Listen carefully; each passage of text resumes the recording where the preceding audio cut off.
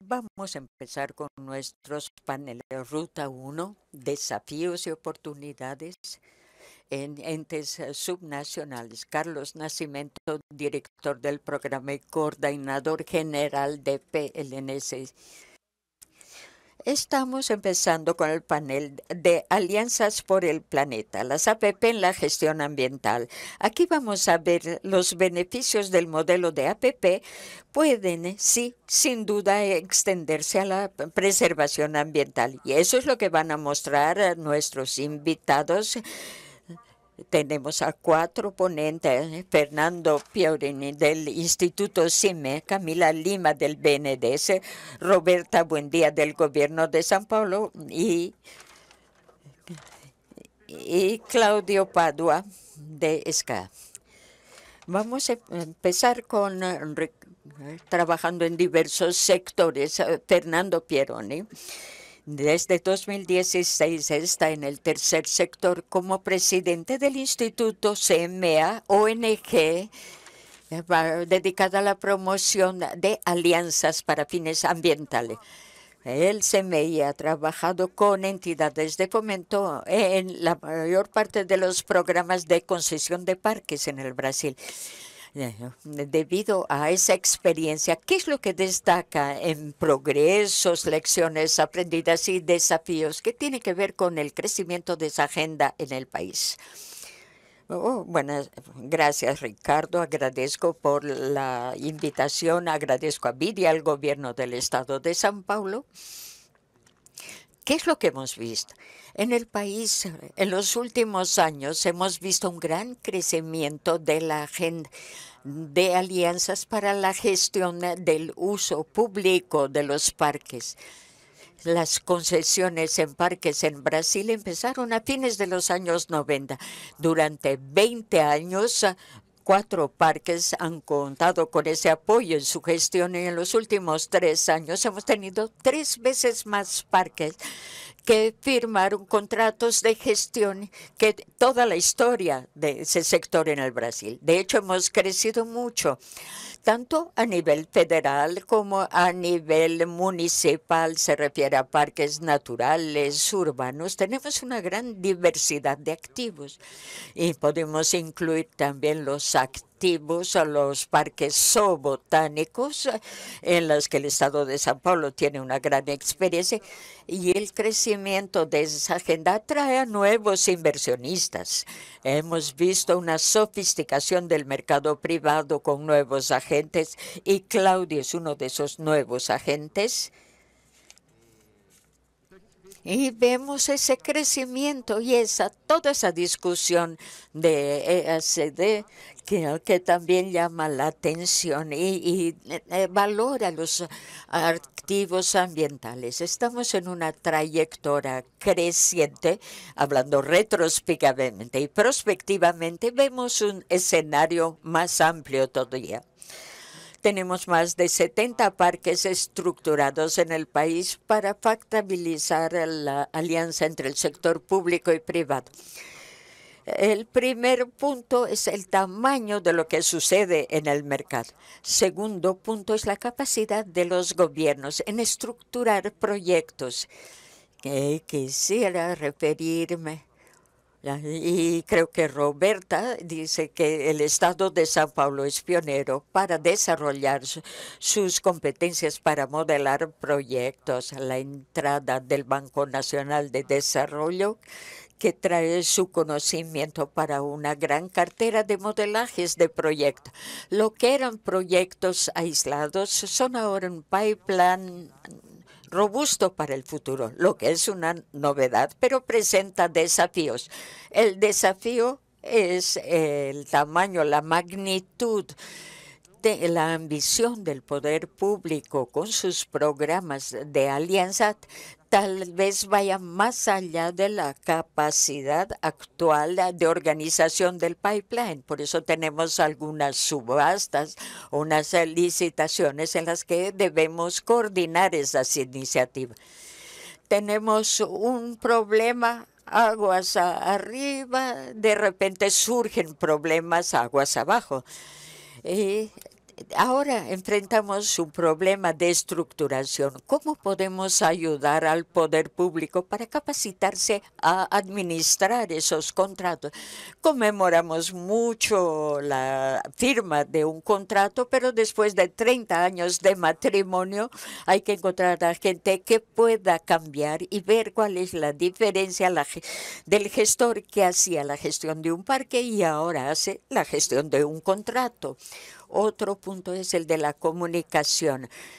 A medida que avanza esa cartera, lo que vemos es que son eh, zonas que pueden ampliarse, unas más, otras menos sensibles. La cuestión del compromiso, entender el proyecto que tiene características territoriales. Hay que entender el entorno en que se encuentra y pensarlos como una política, además de recalificar el espacio parque, pensar en su mejor integración con el entorno, es importante para el éxito de esas iniciativas y el último punto que quisiera mencionar es sobre la diversidad de modelos. Hemos hablado de concesiones basadas en el modelo tradicional. Eh, regido por la eh, ley 897, la brasileña, pero hay otras modalidades eh, de alianzas que pueden involucrar al tercer sector también. La capacitación de los nuevos modelos y la comunicación eh, tienen que ser tenidos en cuenta para poder avanzar. Gracias, Fernando. Seguimos con Camila Lima, gerente de estructuración, de estructuración socioambiental. Camila. En los últimos años, el BNDES se posiciona como un banco verde eh, por la preservación del medio ambiente. Y en este sentido, el banco está invirtiendo en la estructuración de proyectos de construcción de parques y bosques podría hablarnos sobre los proyectos de concesiones de los parques en los que el banco ha, eh, ha hecho una cooperación con el BID y el banco. Muy buenas tardes a todos.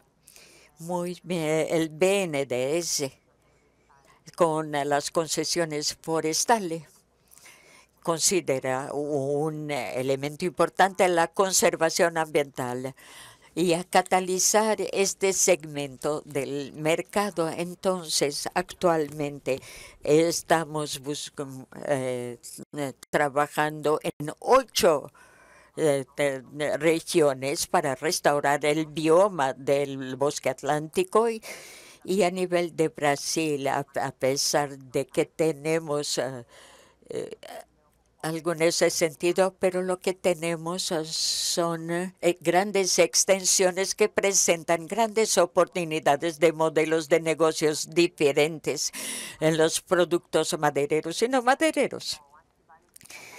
Cabe destacar que, que las concesiones en los parques ya son una realidad ya existen 21 contratos firmados por HSBC con el sector privado. El desarrollo de un espacio sostenible, pero tenemos más oportunidades. Las concesiones se refieren a un millón de hectáreas y tenemos otras 20 millones en los que podemos actuar. Entonces, creemos realmente que al apoyar esta estructuración, desarrollando nuevos modelos y, objetivos que estén alineados entre lo público y privado, podamos ampliar y apalancar ese instrumento. además de la factibilidad económica, que hay toda la parte económica por el abastecimiento en maderas rastreada, tenemos varios objetivos junto con ellos. Entonces, eh, actuamos en Hacienda, tenemos proyectos de licitación para el tercer trimestre del año que viene y, estamos muy comprometidos para obtener éxito. como dijo Piero, no solo en la parte de la licitación, sino a éxito a largo plazo. Esos contratos se piensan de manera que sean flexibles y puedan adaptarse a todo lo que surja a largo plazo y que el concesionario pueda aprovechar los potenciales de manera sostenible y traer esos objetivos de preservación ambiental, de generación de empleo y desarrollo local a la realidad. Gracias, Camila. Prosiguiendo, vamos a hablar con Roberta Buendía, que es asesora en la Secretaría de Infraestructura y Medio Ambiente del Estado de San Paulo que trabaja en el programa de concesión de parques. El gobierno de San Paulo estuvo en liderazgo de participación privada en la gestión de parques y como Fernando ha mencionado, existe un trabajo consistente a lo largo de los años con nuevos proyectos. ¿Puede compartir con nosotros la experiencia que tienen Hola, muy buenas tardes. Muchas gracias por la invitación y poder participar y contarles un poco de nuestra historia y nuestro trabajo desde 2016, después de la aprobación de una de las leyes que se mostró muy exitosa como estrategia en ese sector. El desarrollo de turismo y concesión del uso de estos espacios. 2017, a partir de esa ley, pensamos qué hacer para hacer esa estructuración en un ambiente que no, se, no conocíamos ese tipo de gestión. Y por supuesto, e, esta actividad de acercarse más al usuario, maneras eh, de pensar eh, estratégicas, como hacer eh, los moldes y también, bueno, de hecho, nosotros en el gobierno del estado tenemos mucha experiencia ya aprendiendo muchísimo con los programas de concesión que hemos realizado aprendimos mucho. Tratamos de utilizar eh, las lecciones en este sector con nuevas actividades. Bueno, tuvimos la primera fase o etapa de estructuración de los proyectos piloto. Después, con el primer eh, lote o tanda de proyectos, hicimos un, eh, lo mismo con nuevos eh, lotes de proyectos de los últimos dos años. Es un aprendizaje constante, tratando de superar cuáles son los escollos. Trabajamos en un mercado donde el uso público es su mayor destino la experiencia es muy importante. Hay que tener una conexión con nuestras áreas eh, y espacios de protección y parques. Son temas muy específicos en la estructuración. Hay otro aspecto que es justamente el parque en sí mismo, la unidad de conservación. Son parques urbanos. ¿Cuál es el rol que tiene en la sociedad? ¿Cómo se le reconoce por la población?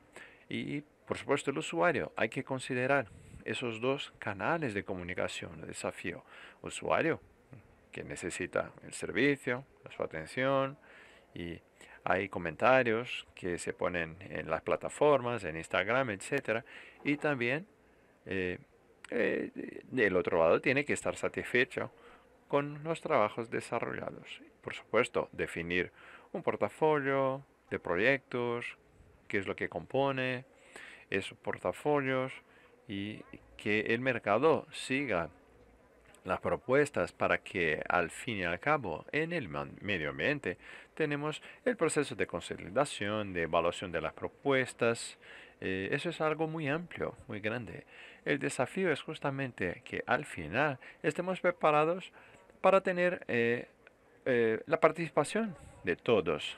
Con respecto a los desafíos, esos son los comentarios sobre las oportunidades, por supuesto que hay un potencial inmenso de educación ambiental, sensibilización de la población y eso está siempre plasmado en nuestros documentos y la agenda es justamente una agenda de bienestar, de buenas experiencias, dar evidencia a la dimensión de que eh, representa nuestras áreas de protección ambiental con la sensibilización de las personas vamos a estar cumpliendo nuestro papel de nuestro trabajo.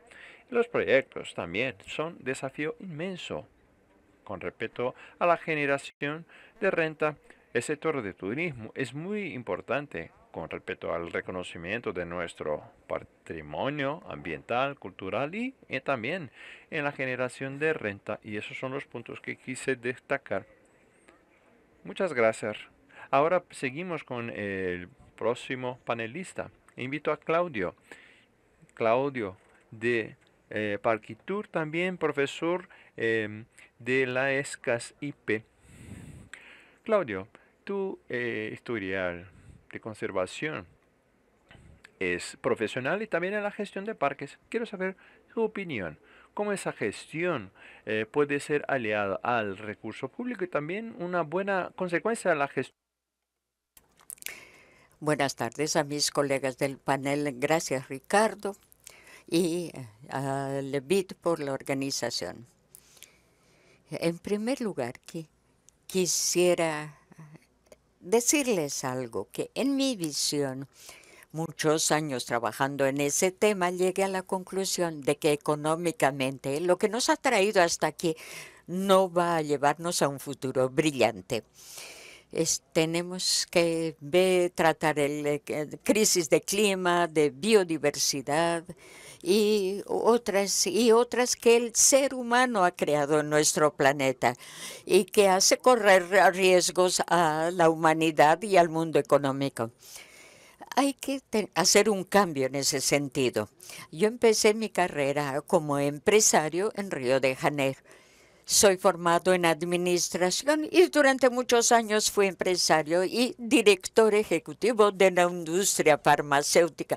Cuando un viernes decidí salir de la oficina y dije, nunca más voy a volver, me voy a dedicar a la conservación de la naturaleza en el Brasil. Creé un instituto que se llama IB hace 30 años y 30 años después me acuerdo de los artículos de de que llego a la conclusión que si no me involucro en el mundo de los negocios, no podría realizar las cosas que hago. Mi conclusión es que yo tenía que cambiar mi rumbo para lograr ese nuevo cambio.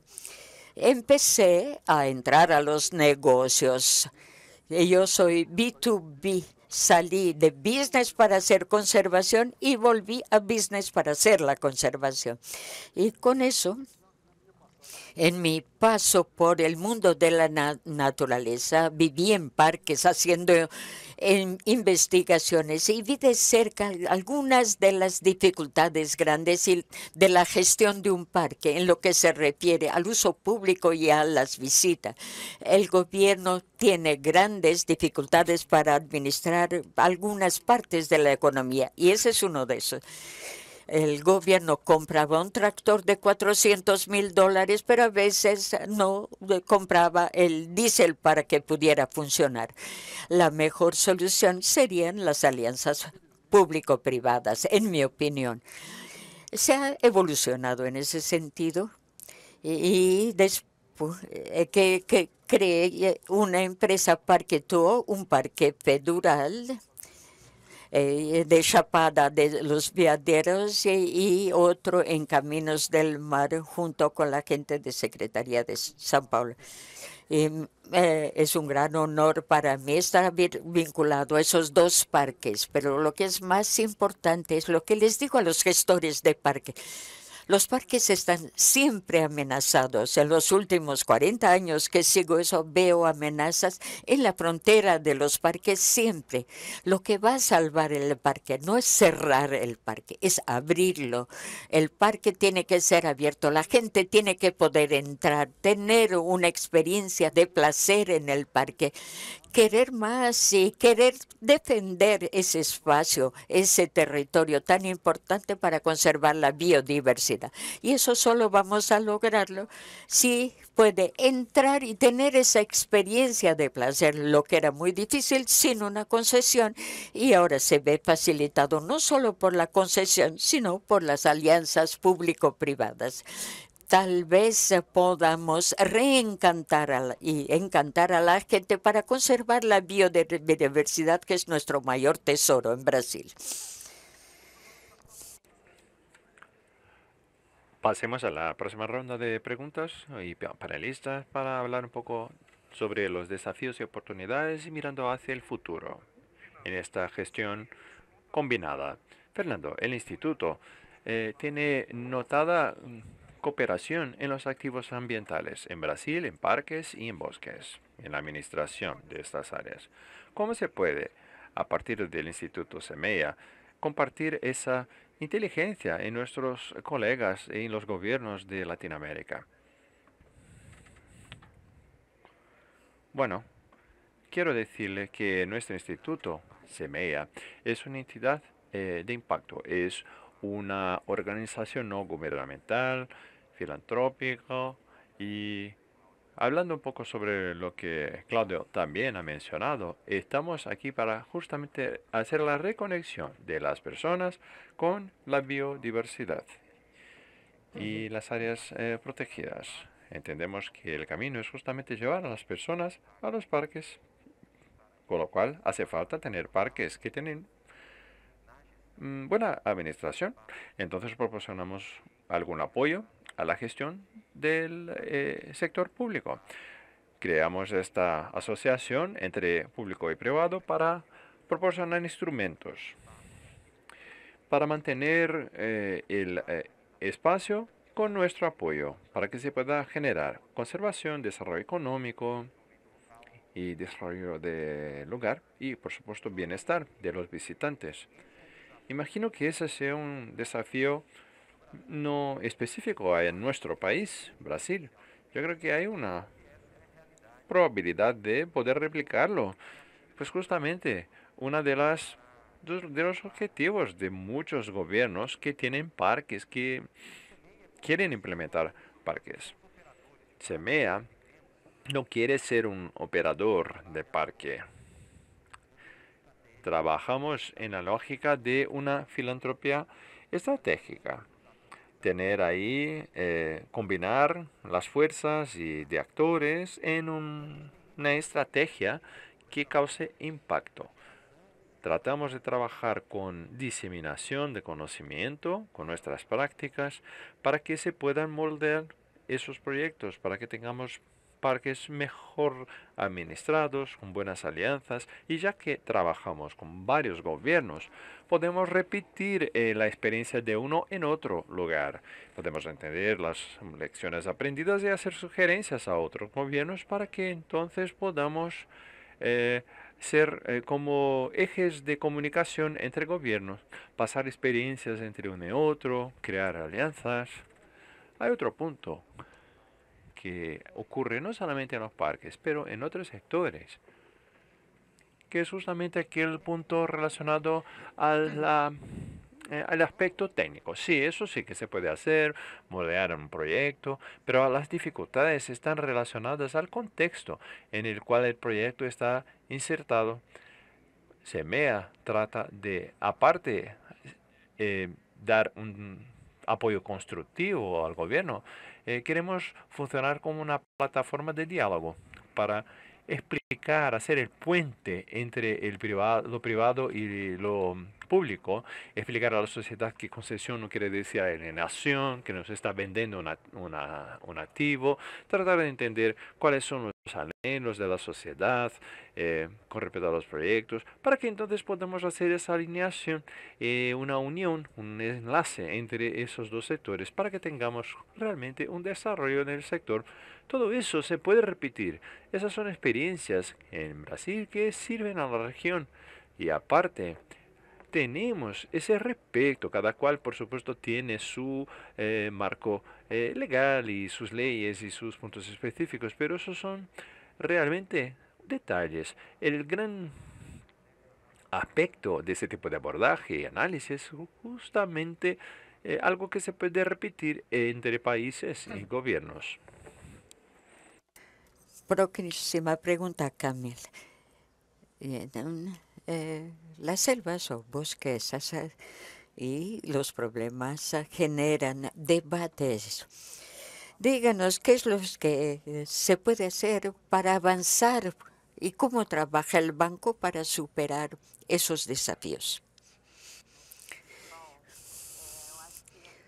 yo creo que eh, es tener siempre diálogos, vamos modelando esos proyectos con un diálogo constante con varios stakeholders, con la sociedad, con varias alianzas, Semella es uno de ellos, y hay que escuchar muchas lecciones aprendidas, como comenté antes, y, lecciones aprendidas de contratos anteriores.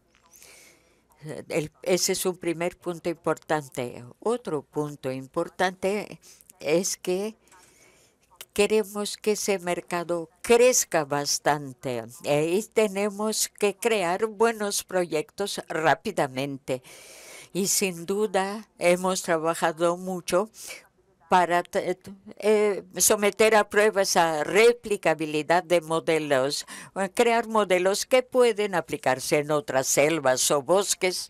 Y el BNDS justamente ha tratado de unir eh, lo que ya tiene eh, desarrollado y las investigaciones que tiene estructurando proyectos en ese sentido de fuentes diferentes. Y también tiene un papel importante de BNDS, es el lanzamiento de proyectos eh, socioambientales y también lo que queremos es aprovechar esa investigación en esos proyectos. Ya se ha comentado, ¿eh? tenemos la cuestión del desarrollo del mercado de inversiones. Ah, hay varios beneficios, varios motivos para invertir. Son proyectos que atraen, que son sostenibles desde el punto de vista socioeconómico y ambiental, pero son parecidos y hemos trabajado para para eso, para mostrar eso interna y externamente, mostrando cómo se construyen los modelos, todo un sistema de control y rastreabilidad de la madera. La mejor forma de dar apoyo es conociendo algo que se ha construido y que tiene un objetivo noble. Creo que eso es todo. Gracias, Camila. Roberta. Para Roberto, el Estado de San Paulo tiene una serie de proyectos exitosos. Quiero que comparta con nosotros el desafío, los desafíos y oportunidades identificadas y hacia dónde vemos eh, la dirección de la agenda desde tu punto de vista. Yo creo que en los últimos cinco años, bueno, principalmente los últimos tres años, tenemos una agenda muy interesante de proyectos, de parques. Y nos alegramos mucho con las propuestas alabancadas hasta ahora. Bueno, tenemos un proyecto Caminos del Mar en operación en Campos de Jordán, dos años, celebramos dos años, zoológico, también dos activos, cambiamos la gestión hace una semana, bueno, vamos a firmar eh, un otro contrato, dos parques, a Cantarera, Alberto Lofen. Y luego vamos a tener un edital con respecto a los parques urbanos. Son activos totalmente complejos, distintos. Es un reto muy grande. Dos años, poco tiempo para tantos contratos, pero muchas lecciones aprendidas. Tratamos de eh, subrayar cada punto, los desafíos de la gestión, pero son alianzas muy buenas, buenos resultados. Hay números crecientes de visitas, de servicios de apoyo, mejorías, recalificación de las áreas.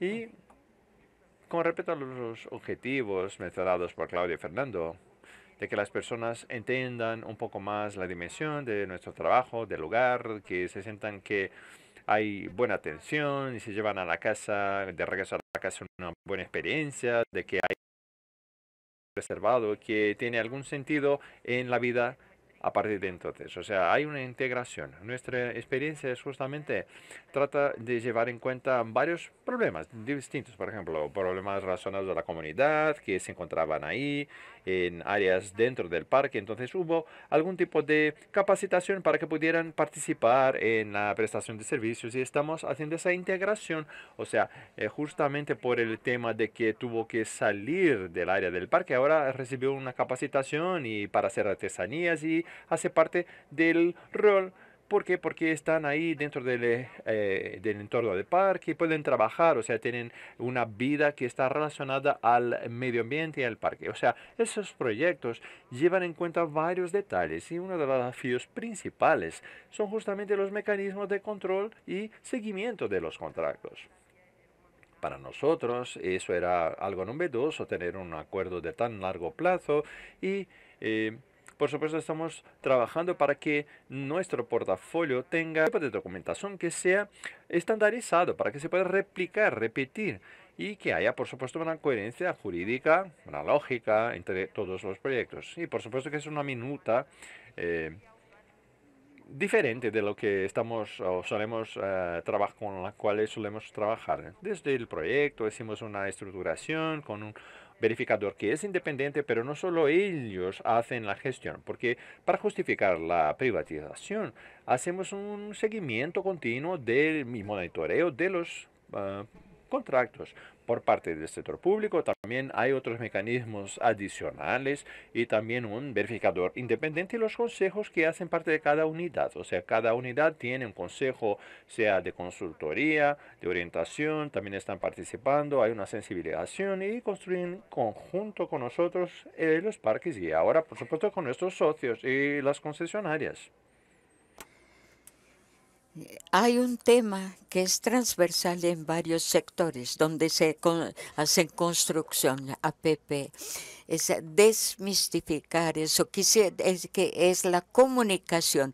Quisiera saber qué es lo que están haciendo para desmistificar la privatización en lo que se refiere a parques un desafío que hemos tratado de resolver es que un desafío a largo plazo del gobierno y hasta que la sociedad comprenda que, bueno, 30 años eh, es una privatización. No, no, no lo es porque en un momento el área deja de ser del Estado y tenemos ese control constante. Tenemos prestación de cuentas periódicos al Consejo y al concedente y tenemos siempre las encuestas de satisfacción. Estamos tratando de eh, hacer un acuerdo con CESPI para hacer eh, más comunicación con los usuarios para, en cuanto a la atención, para responder a los ciudadanos que tengan algún problema. El visitante se comunica mucho vía Instagram y esas eh, plataformas para hacer comentarios. Estamos tratando de estructurar la parte más lógica de atención al usuario. Claro, no es una prestación de servicios eh, tradicional, sino que hay que insistir estamos eh, siempre queremos saber si ha sido atendido, si no ha sido atendido y hacemos una encuesta. ¿Ha entendido cuáles son los desafíos? No ha entendido. Y así aprendemos juntos. Aprovechando el tema, quisiera hacerle esta pregunta a Camila. Camila, el banco está haciendo eh, proyectos eh, en Amazonia y por todo lo que representa para el mundo, suscita pasiones, para decir lo mínimo, ¿no? ¿Cómo están haciendo frente a esos proyectos estructurados de concesiones eh, estructurales en Amazonia con eh, la situación de que el gobierno va a entregar el Amazonas, la selva amazónica, al sector privado? ¿Cómo enfrentan eso? Pues justamente como habías mencionado, la comunicación es un instrumento muy importante. Yo creo que la comunidad entiende los beneficios eh, generados. Y al entender eso, todo se vuelve más fácil. Como Roberto dijo, prestar atención al usuario. Bueno, claro, aquí prestamos mucha atención a las comunidades y indudablemente damos cuenta que es positivo de que el bosque se mantenga de pie y cómo la comunidad puede tener acceso, seguir teniendo acceso al bosque y sacando su alimento del bosque y toda esa preocupación para la elaboración de ese tipo de contratos. Por supuesto, con la consulta pública, la comunidad tiene que participar de los procesos y eso, em, cuando se da cuenta de que va a ser positivo y que ven los resultados, eh, es muy importante. Y entonces, como los resultados eh, eh, se quedan más claros con el entendimiento de todas las partes interesadas, yo creo que la cuestión es justamente comunicación, mucha comunicación, mucho aprender, escuchar, ver cómo eso puede contribuir a los proyectos.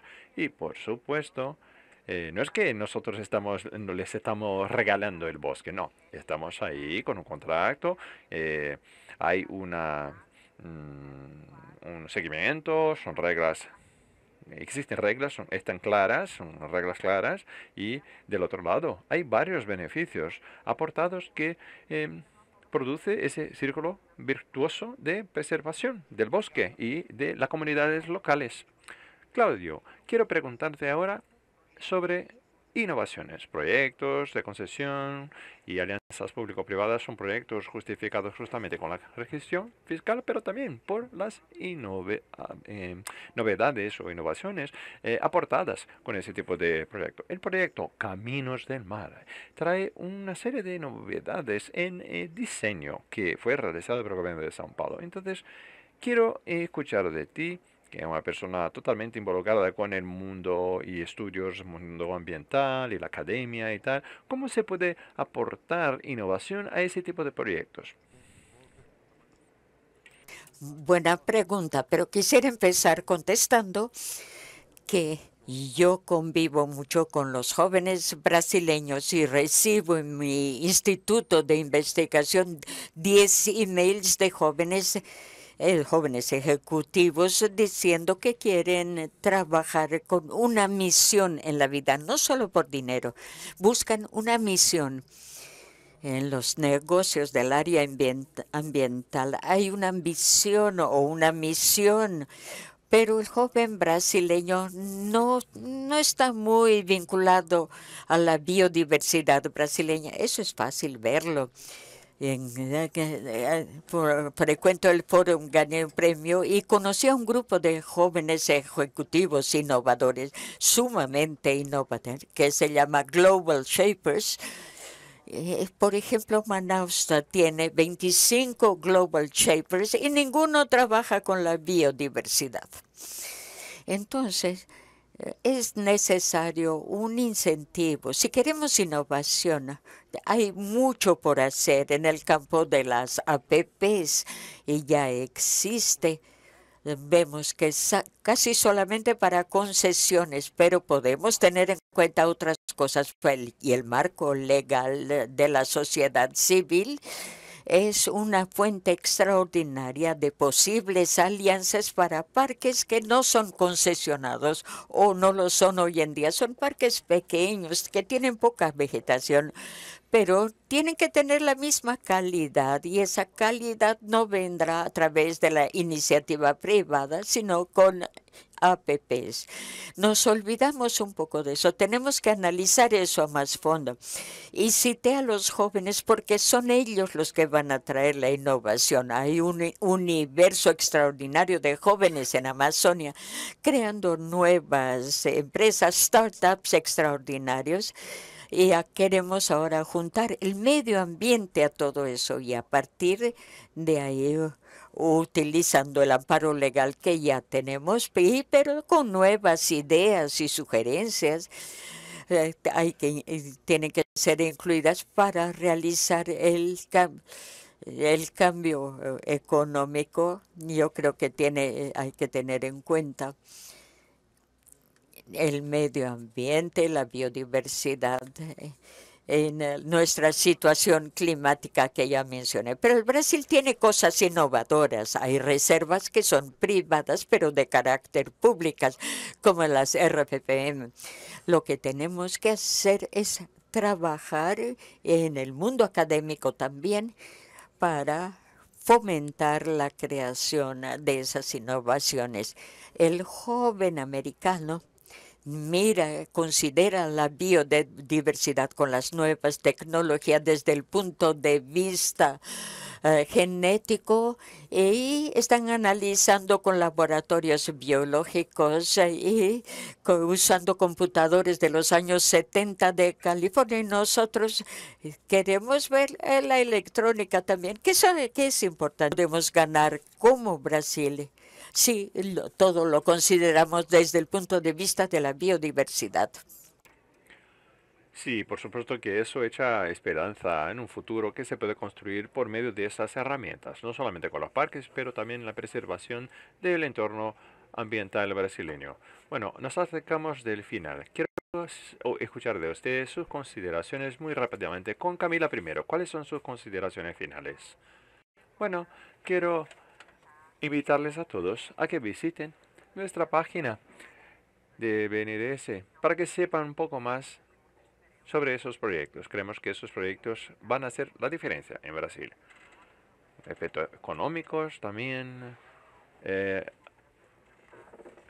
relacionados a los objetivos de desarrollo sostenible. Otra vez más, quiero agradecer por la oportunidad de participar de este panel que nos trajo muchos ejemplos de éxito. Creemos mucho en esta agenda, en su importancia y cómo, por medio de proyectos buenos, podemos contribuir a la preservación del medio ambiente para un futuro mejor a todos nosotros. Son todas herramientas muy importantes para la preservación del planeta. Y es justamente eh, para eso está el panel.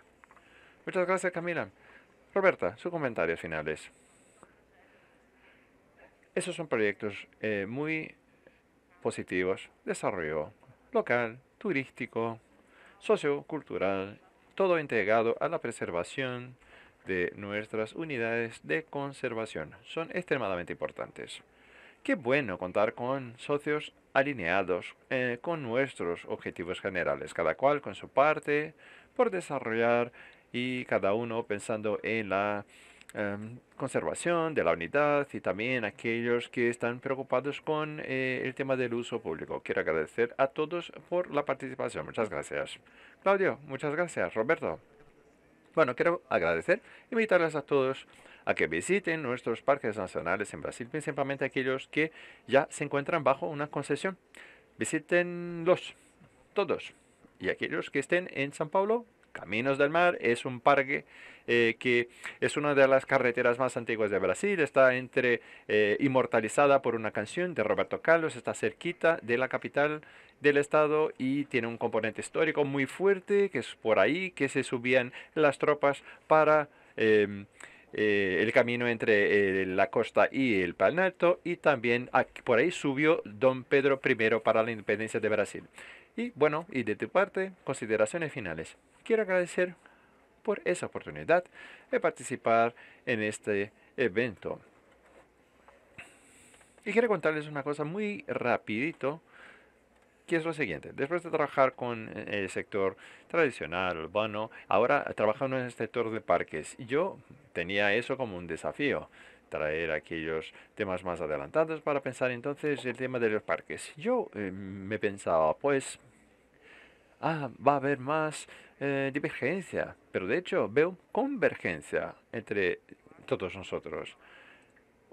Puntos mencionados muy eh, repetidas veces fue justamente la alineación de propósito. Eso justo es una llave para nuestro progreso. Cuando mencionó esa alineación, es justamente lo siguiente.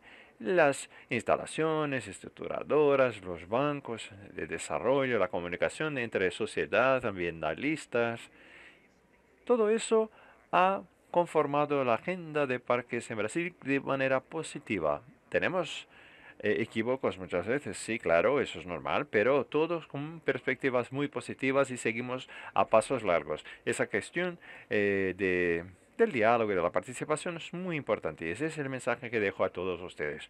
Fernando, muchas gracias. El futuro de la humanidad está directamente conectado a la preservación de la naturaleza y es necesario que tengamos el cuidado con la naturaleza y con todos los beneficios que nos puede aportar, que eso es un desafío inmenso para la humanidad y solo podemos enfrentar ese desafío si lo hacemos en conjunto, público, privado, organismos multilaterales, instituciones de la sociedad privada y, por supuesto, la sociedad en sí misma organizada. Con lo cual agradezco a la presencia de Roberto, Claudia, Fernando y Camila y clausuro este panel. Muchas gracias. Buenas tardes.